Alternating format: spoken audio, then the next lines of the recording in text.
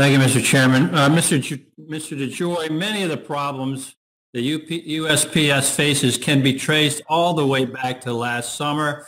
The chairwoman is correct. Last summer, there were efforts to dismantle mail sorting machines, cut overtime, restrict deliveries, remove blue mailboxes, all in the name of operational efficiency. I have no doubt you'll attempt to deny these actions or justify them as you have previously, but we've all seen the reports, and my constituents did not experience an increase in efficiency in any way. Uh, instead, they experienced delays as well as missing and misdelivered mail, and yet you want to try this again. You've proposed more service cuts, doubling down, instituting higher and region-specific pricing and lower delivery expectations. So I have three questions for you. Number one, Americans are clearly relying more than ever on the United States Postal Service than before the pandemic.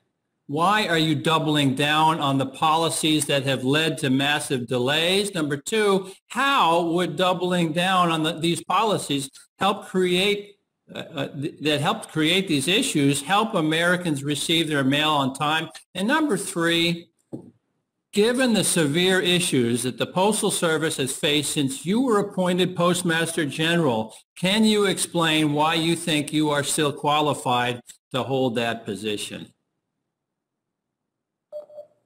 So, uh, Congressman, uh, first of all, I don't agree with the premise that you introduced the question on with, with regard to changes that I've implemented have caused these uh, uh, these the, these issues. These, as as I said earlier, uh, uh, uh the uh, our network and the financial condition of the postal service have been eroding substantially, and we did have to operate in the pandemic just like every other operation in, in in the nation.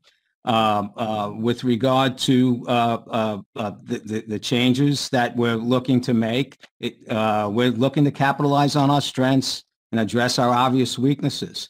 And the, the, this plan, the changes that we'll make are about service excellence and affordable prices. It's about maintaining six and seven day a week delivery.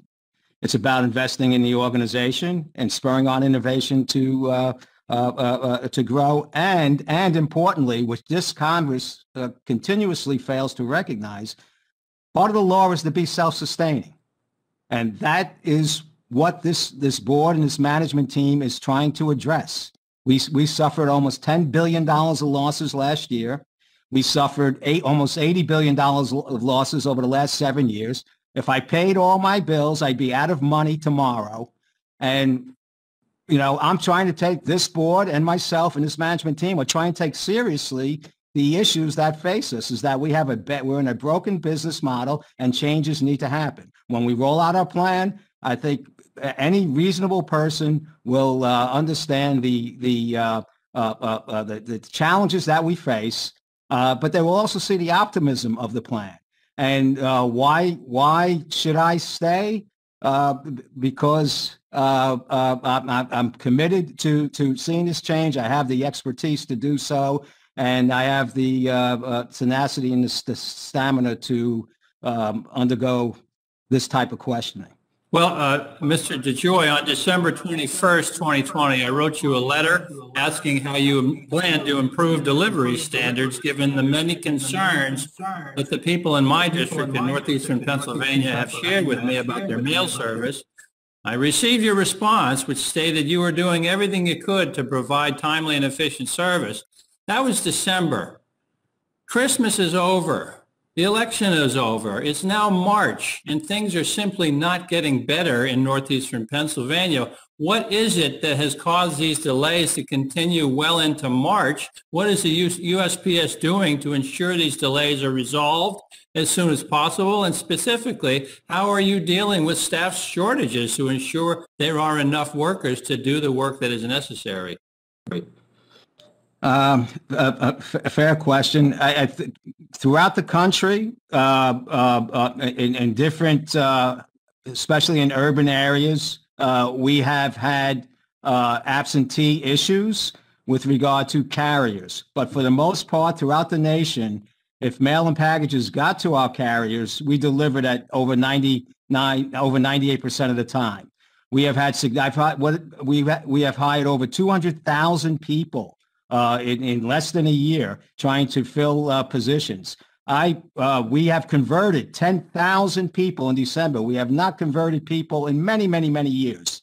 Uh, so we're very committed to try and stabilize the workforce. It's number my number one thing I'm, I'm focusing on. I've been working with our union leadership on this to change the trajectory of our turnover in that in, in that area. But the rest of the problem, sir, is not at the delivery units. It's in our network.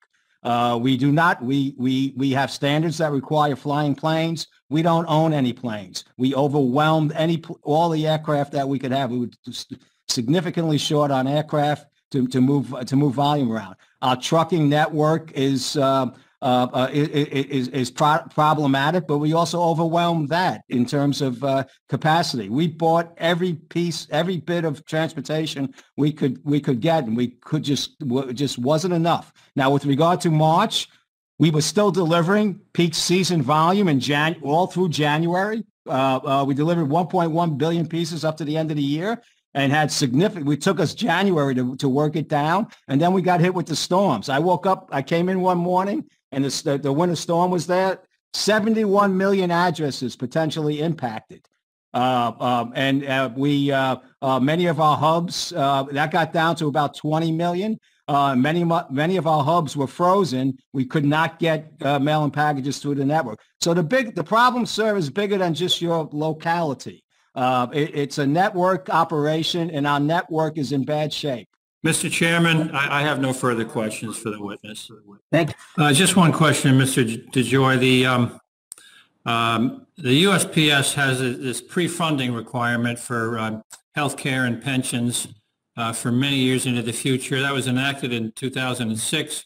Uh, Successive uh, uh, members of top management at the Postal Service um, have uh, expressed uh, a wish that that were not the case, which is a a burden that no other governmental uh, related agency faces. Um, and last year in the in the U.S. House, uh, we passed the USPS Fairness Act, which had more than 300 co-sponsors, including more than five dozen Republicans.